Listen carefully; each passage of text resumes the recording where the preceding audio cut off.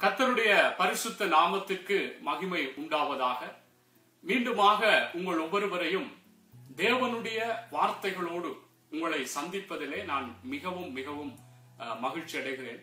அன்பான சகோதர சகோதரிகளே நான் சென்ற நாட்களிலே உங்களுக்கும் எனக்கும் பிரயோஜனம் உண்டாகும்படியாக ஒரு தியானத்தை உங்களோடு பகிர்ந்து கொண்டேன். உங்கள் அநேகருக்கு ஆசீர்வாதமாகவும் பிரயோஜனமாகவும் ஒரு உற்சாகத்தையும் தேவனுக்காக ஓட வேண்டும் என்ற ஒரு வைராக்கியத்தையும் தந்தது என்ற செய்திகளை அஹ், தொடர்பு கொண்டு பேசினீர்கள். அஹ், நிச்சயமாக உங்களுக்கு எப்படி பிரயோஜனமா இருந்ததோ அப்படியே எனக்கும் கூட பிரயோஜனமாய் கத்தருக்குள்ளாக இன்னும் அஹ், செயற்படத்தக்கதாக கத்தர் என்னை இன்னும் உந்தி தள்ளின அந்த காரியங்களை கூட நானும் உணர்ந்தேன். கத்தருடைய நாமம் ஒன்றே மகிமைப்படட்டும். அன்புக்குரியவர்களே நிச்சயமாக இன்றைய நாளிலும் கூட நான் சென்ற நாட்களில் சொன்னது போல உங்களுக்கும் எனக்கும் பிரயோஜனம் உண்டாகும்படியாகவே இன்றைய நாளிலும் ஒரு தியானத்தை உங்களோடு பகிர்ந்து கொள்ள இருக்கிறேன். ஆகவே இந்த தியானத்தை நாங்கள் கேட்கிறவர்களாக மாத்திரமல்ல. அதன்படி நாங்கள் நடக்கிறவர்களாக. வேதம் சொல்லுகிறது தேவனுடைய வார்த்தையை கேட்கிறவர்களாக மாத்திரமல்ல அதன்படி நடக்கிறவர்களாக இருக்க வேண்டும் என்று சொல்லி. ஆகவே இன்றைய நாளில் கூட நான் உங்களோடு தியானிக்கும்படியா எடுத்துக்கொண்ட காரியம் அல்லது விடயம் என்னவென்று சொன்னால் தேவனுக்காக நாங்கள் பிரகாசிக்க வேண்டும். அல்லது தேவனுடைய ராஜ்யத்துக்காக நாங்கள் பிரகாசிக்க வேண்டும் அல்லது ஒளி வீச வேண்டும் என்ற அந்த தலைப்பின் கீழாக உங்களோடு இன்றைய நாளிலும் அந்த சிறிய தியானத்தை பகிர்ந்து கொள்ள இருக்கிறேன். அன்புக்குரியவர்களே இந்த உலகத்திலே நாங்கள் பார்க்கும் பொழுது இந்த உலக பிரகாரமாக எத்தனையோ மனிதர்கள் உலகத்திலே பல காரியங்களுக்காக பிரகாசிக்கும்படியாக முயற்சிக்கிறார்கள். அல்லது பல விடயங்களிலே பிரகாசிக்கிறார்கள். உலகத்திலே பார்க்கும் பார்க்கும் பொழுது சினிமாவிலே அநேகர் பிரகாசிக்கிறார்கள். படிப்பிலே அநேகர் பிரகாசிக்கிறார்கள். விளையாட்டிலே அநேகர் பிரகாசிக்கிறார். இப்படி பல விடயங்களை நாங்கள் பார்க்கலாம். அதற்காக கூட இன்னும் பலர் அதற்காக முயற்சிகளை செய்கிறார்கள்.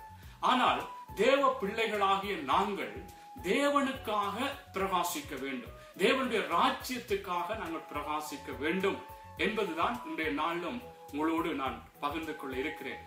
ஆகவே தேவனுக்காக நாங்கள் பிரகாசிக்க வேண்டும் என்று சொன்னால் தேவன் எப்படியாக எங்களுக்கு அவர் முன்மாதிரியாக இருந்தார் அல்லது தேவன் எப்படிப்பட்டவர் என்பதை நாங்கள் முதலாவது அறிந்து கொள்ள வேண்டும் அன்பானவர்களே. அங்கே வேதத்திலே நாங்கள் பார்க்கிறோம் தேவனை குறித்து அங்கே சொல்லப்படுகிறது எந்த மனிதனையும் பிரகாசிப்பிக்கிற மெய்யான ஒளியே அந்த மெய்யான ஒளி என்று அங்கே உலகத்திலே எந்த மனுஷனையும் பிரகாசிப்பிக்கிற அந்த ஒளியே அந்த மெய்யான ஒளி என்பதை குறித்து யோவான் ஒன்று ஒன்பதிலே நாங்கள் பார்க்கக்கூடியதாக இருக்கிறது. அதே போல அங்கே மத்திய புஸ்தகத்துல கூட அங்கே சொல்லப்படுகிறது இருளில் இருக்கிற ஜனங்கள் பெரிய வெளிச்சத்தை கண்டார்கள் என்று இந்த அஹ், மெய்யான ஒளியாகிய இயேசு கிறிஸ்துவை குறித்து அங்கே சொல்லப்படுகிறது அன்பானவர்களே. ஆகவே எங்களுக்கு முன்மாதிரியாக இருக்கிற இந்த இயேசு கிறிஸ்து எப்படியாக அவர் ஒரு பிரகாசமுள்ள தேவனாக இந்த உலகத்தில் எப்படி அவர் பிரகாசித்தார் என்பதை குறித்து நாங்கள் வேதத்தில் பார்க்கக்கூடியதாக இருக்கிறது. வேதம் சொல்லுகிறது அவர் எங்களுக்கு அவருடைய அடிச்சுவடுகளை பின்தொடரும்படியாக எங்களுக்கு ஒரு மாதிரியை வைத்து போயிருக்கிறாராம். ஆமே ஆகவே இந்த நாளிலே தேவ பிள்ளைகளாகிய நாங்களும் கூட இந்த மெய்யான ஒளியா இருக்கிற இந்த உலகத்திலே எந்த மனிதனையும் பிரகாசிப்பிக்கிற அந்த மெய்யான ஒளியாகிய தேவன் மீது அங்கே வேதம் சொல்லுகிறது அங்கே நீங்கள் பார்ப்பீர்களா இருந்தால் ஜோபானின் புஸ்தகம் எட்டாவது அதிகாரம் பன்னிரெண்டாவது வசனத்திலே அங்கே சொல்லப்பட்டது போல இந்த மெய்யான இந்த ஒளியாகிய இந்த எந்த மனிதனையும் பிரகாசிப்பிக்கிற இந்த ஒளியாகிய அந்த தேவன் மீது நாங்கள் விசுவாசம் வைத்து அவரை ஏற்றுக்கொண்டு அவரை பின்பற்றுகிறவன் இருளிலே நடவாமல் ஜீவ ஒளியை அடைந்து கொள்கிறான் என்று இந்த யோவான் புஸ்தகம் எட்டாவது அதிகாரம் பன்னிரெண்டாவது வசனம் சொல்லுகிறது.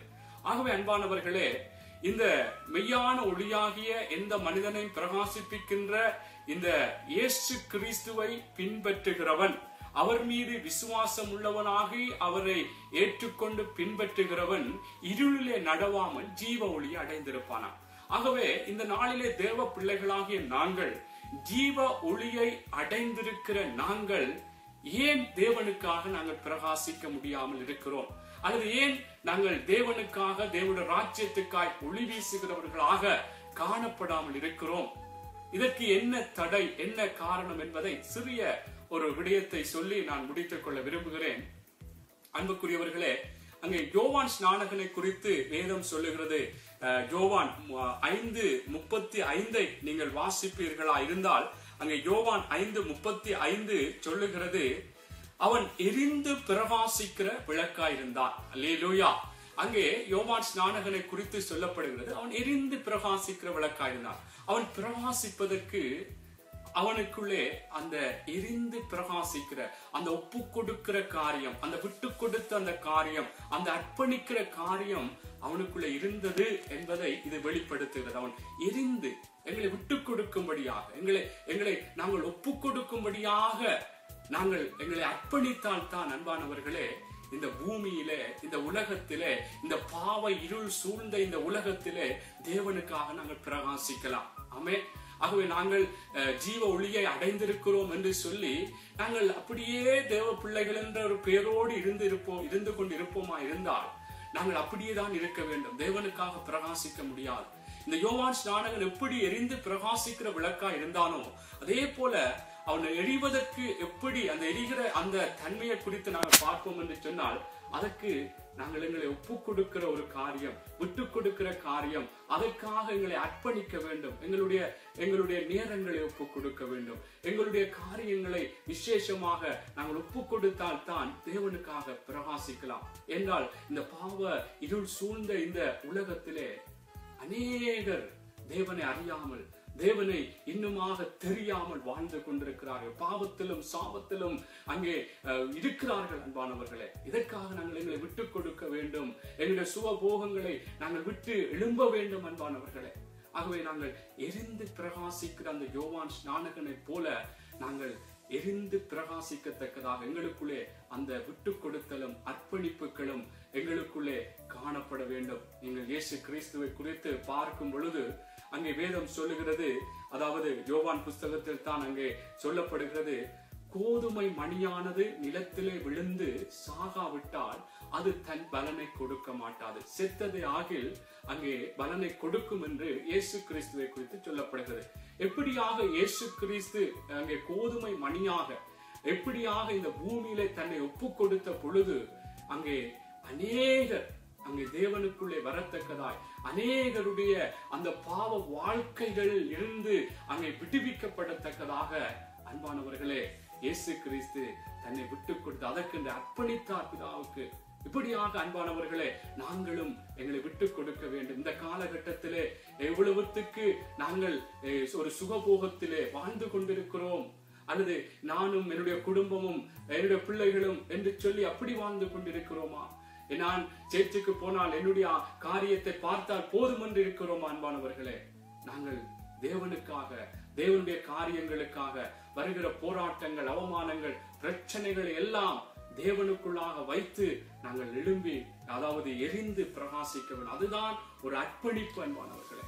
ஆமே ஆகவே நான் இப்படி பல உதாரணங்களை சொல்லலாம். அங்கே Shadrach Meshach Abednego Daniel போன்ற அந்த தேவனுடைய மனுஷர்களை குறித்து நாங்கள் பார்க்கும் பொழுது அன்பானவர்களே எப்படி அவர்கள் அங்கே அந்த பாபிலோனிலே எப்படியாக அவர்களுக்கு பல போராட்டங்கள் பல உபத்திரவங்கள் எல்லாம் வந்த பொழுது எப்படியாக அவர்கள் தங்களை தேவனுக்கென்று அர்ப்பணித்தார்கள் விட்டு கொடுத்தார்கள். அதனாலே அங்கே அந்த அந்த அந்த ராஜா கூட அங்கே இவர்களுடைய தேவனே தேவன் என்று சொல்லத்தக்கதாக அங்கே தேவனுடைய நாமத்தை மகிமைப்படுத்தினார்கள். அன்புக்குரியவர்களே ஆகவே நாங்கள் எங்களை விட்டு கொடுக்க தேவனுடைய ராஜ்யத்துக்காய் தேவனுக்காய் நாங்கள் பிரகாசிக்க வேண்டும் என்றால் எங்களை அர்ப்பணிக்க வேண்டும் எங்களை ஒப்பு கொடுக்க வேண்டும். பாருங்கள் எ- எவ்வளவு இந்த உலகத்திலே எவ்வளவு போராட்டங்கள் எவ்வளவு ஒரு இயக்கங்கள் உருவாக அதற்கென்று எவ்வளவுத்துக்கு ஒப்பு கொடுக்கிறார்கள் அதை அர்ப்பணிக்கிறார்கள். ஏனென்றால் அந்த அந்த காரியங்கள் வளர வேண்டும் அந்த கொள்கைகள் வளர வேண்டும் என்று சொல்லி அங்கே ஒப்புக் கொடுக்கிறார்கள் அன்பானவர்களே. நாங்களும் தேவனுக்காக ஒப்புக் கொடுக்கும் பொழுது தேவன் எங்களுக்கு நித்திய நித்தியமான ஒரு ஆசீர்வாதங்களை அந்த ராஜ்யத்தை நாங்கள் சுதந்திரித்துக் கொள்ளத்தக்கதாக கிருபை செய்வார் அன்பானவர்களே. ஆகவே இதை குறித்த பல காரியங்களை சொல்லலாம். நான் சொல்லும் பொழுது உங்களுக்கு பல வெளிப்பாடுகள் கூட வந்திருக்கலாம். நிச்சயமாக நீங்கள் கூட எரிந்து பிரகாசிக்கிற ஒரு விளக்குகளாக நீங்கள் தேவனுக்காக நீங்கள் ஒளி வீசுங்கள் அவருக்காக பிரகாசிங்கள். அதுதான் உப்பு கொடுத்தல் விட்டு கொடுத்தல். அதனை அர்ப்பணிப்புகள் என்று அதுக்குள்ளே பார்க்கிறோம். இன்னொரு காரியத்தை சொல்லி நான் முடிக்கிறேன். நாங்கள் எரிந்து பிரகாசிக்கிற விளக்காய் இருக்கிறதோடு எழும்பி பிரகாசிக்க வேண்டும். ஆமே அலையலுயா நாங்கள் எழும்பி பிரகாசிக்க வேண்டும். அங்கே ஏசாயா புஸ்தகத்தை நாங்கள் பார்ப்போமா இருந்தால் அன்பானவர்களே எழும்பி பிரகாசி உன் ஒளி வந்தது. கர்த்தருடைய மகிமை உண்மை உதித்தது என்ற அந்த வார்த்தைகளை நாங்கள் பார்க்கக்கூடிய இந்த நாளிலே நாங்கள் கூட நாங்கள் நான் ஏற்கனவே சொன்னது போல தேவனை பின்பற்றி அவரை அவர் மீது விசுவாசம் வைத்து அவரை ஏற்றுக்கொண்டிருக்கிற நாங்கள் ஜீவ ஒளியை அடைந்திருக்கிறோம். ஆனால் எழும்பி பிரகாசிக்க முடியாமல் இந்த பாவத்தின் வாழ்க்கைகளோடு அல்லது இந்த பாவ உலக இந்த மனிதர்களோடு நாங்கள் அப்படியே இருந்து விடுகிறோம். அதனாலே நாங்கள் தேவனுக்காக பிரகாசிக்க முடியவில்லை. அதனால்தான் அங்கே பேசிய புஸ்தகத்தில் சொல்லப்படுகிறது தூங்குகிற நீ விழித்து மறித்தோரை விட்டு எழுந்திரு. அப்பொழுது கிறிஸ்து உன்னை பிரகாசிப்பார் என்று அங்கே சொல்லி மாணவர்களே. ஆகவே நாங்கள் எழும்பி பிரகாசிக்க இந்த உலகத்தின் பாவ காரியங்களை உலகத்துக்கு ஏற்ற அந்த வேஷங்களை விட்டு நாங்கள் எழும்பும் பொழுது தேவனுடைய நாமம் மகிமைப்படும் தேவனுடைய ராஜ்யம் அன்பானவர்களே கட்டப்படும். அல்ல அல்லேலூயா. ஆகவே இந்த நாளில நான் இரண்டு காரியத்தை சொல்லி நான் முடித்துக்கொள்ள பல காரியங்கள் இருக்கிறது. தேவனுடைய வார்த்தைகளை பிடித்து கொண்டு நாங்கள் வாழும் பொழுது இருக்கும் பொழுது கூட அங்கே தேவனுக்காக பிரகாசிக்கலாம். நற்கிரியைகளை செய்யும் பொழுது தேவனுக்காக பிரகாசிக்கலாம். பல விடயங்கள் இருக்கிறது அன்பானவர்களே. இந்த நாளிலே உங்களை நீங்கள் மா- ஆராய்ந்து பாருங்கள் நிதானித்து பாருங்கள். நானும் கூட என்னை நானே நிதானித்து பார்க்கிறேன் ஆராய்ந்து பார்க்கிறேன். ஆகவே இந்த நாளிலே நிச்சயமாக தேவனுக்காக நீங்களும் நானும் எழுந்து பிரகாசிப்போம் எரிந்து பிரகாசிப்போம். நிச்சயமாய் கத்தருடைய ராஜ்யம் இன்னுமாக விஸ்தாரமாக்கப்படும். ஆகவே இப்பொழுது ஒரு ஜபத்தோடு நான் முடித்துக் கொள்ள விரும்புகிறேன். எங்களை நேசிக்கிற நல்ல தகப்பனே நேற்றும் இன்றும் என்று மாறாத தெய்வமே நறுமையான இந்த நல்ல வேலைக்காய் ஸ்தோத்திரம் இந்த நாளிலும் ஆண்டவரே உங்களுடைய ராஜ்யத்துக்காக நாங்கள் பிரகாசிக்க வேண்டும். ஆண்டவரே உங்களுடைய ராஜ்யத்துக்காக ஒளி வீச வேண்டும் என்ற இந்த விடயத்தை குறித்தப்பா ஆண்டவரே அப்பா கேட்டுக்கொண்டு ஒவ்வொருவரோடும் பகிர்ந்து கொள்ள கிருபை செய்தபடியாக ஸ்தோத்திரம். இந்த நாளிலும் அப்பா ஒவ்வொரு பிள்ளைகளும் உங்களுடைய ராஜ்யத்துக்காய் உங்களுடைய நாமத்துக்காக அவர்கள் ஒவ்வொருவரும் எரிந்து பிரகாசிக்க எழுந்து பிரகாசிக்க கர்த்தாவே நீங்க கிருபை செய்யும்படியா நான் ஜெபிக்கிறேன் ஆண்டவரே. தேவனே இந்த வார்த்தைகள் ஒவ்வொருவருக்குள்ளும் புடமிடப்பட்டு வரும் நாட்களில் உமக்காக பெரிய காரியங்களை செய்ய கிருபை செய்யும்படியாய் இயேசுவின் நாமத்தில் ஜெபிக்க நல்ல பிதாவே. ஆமென் ஆமென். ஆம் அன்பானவர்களே நிச்சயமாக இந்த தியானம் கூட உங்களுக்கு ஆசீர்வாதம் இருந்திருக்கும். நீங்கள் பெற்றுக்கொண்ட அந்த ஆசீர்வாதங்களை குறித்தும் எங்களோடு பகிர்ந்து கொள்ளும்படியாம் அன்போடு உங்களை கேட்டுக்கொள்கிறேன். மீண்டும் உங்கள் ஒவ்வொருவரையும் இன்னொரு தியானத்தோடு சந்திக்கும் வரை உங்களிடமிருந்து இப்பொழுது விடைபெற்றுக் கொள்கிறேன். கற்றத்தாமே தாமே உங்கள் ஒவ்வொருவரையும் ஆசீர்வதிப்பாராக. ஆமேன் ஆமேன் ஆமேன்.